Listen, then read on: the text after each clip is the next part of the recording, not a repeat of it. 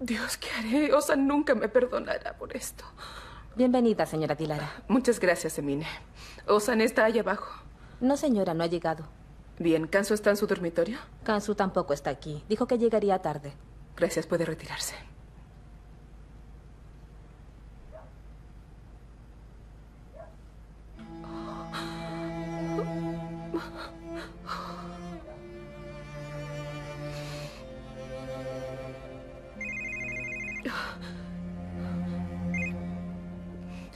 Aló, Harun.